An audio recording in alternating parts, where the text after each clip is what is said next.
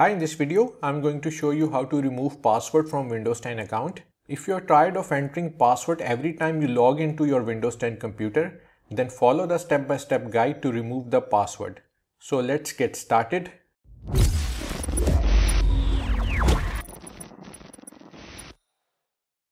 First click on the Windows Start button located in the bottom left corner of your screen.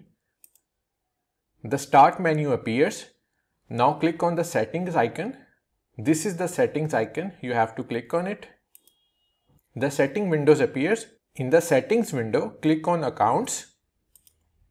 In the accounts section, you have to click on sign in options. Now you have to click on this password and then click on change.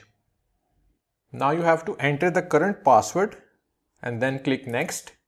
Now you have to leave the new password fields blank and click next and now click finish. So that's it. You will now be able to log into your Windows 10 account without entering a password. In the end, if this video is somewhat helpful to you, then don't forget to hit the like button and subscribe to my channel for more updates. Thank you.